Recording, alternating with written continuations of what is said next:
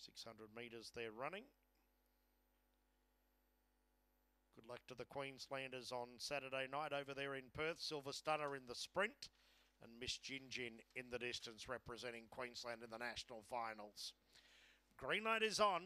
Race 9, our penultimate. Favourite box 8, 1L. Away now, 1L only slow to begin. Velda the Viking came out quickly to lead. 1L pressing forward, goes into second spot and finds the fence. Third, Destiny Seahorse. Firmino got back and knock a knock at the tail. 993 early up the Cooksley Street side. Velda the Viking a length in front, but to pounce was 1L is trying to get up on the inside and it does so.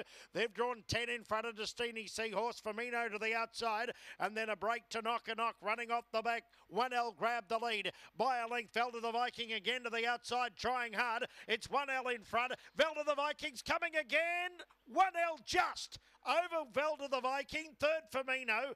Followed then by Knock and Knock. Nastini Seahorse last in 35 and 50. Favourite has scrambled home.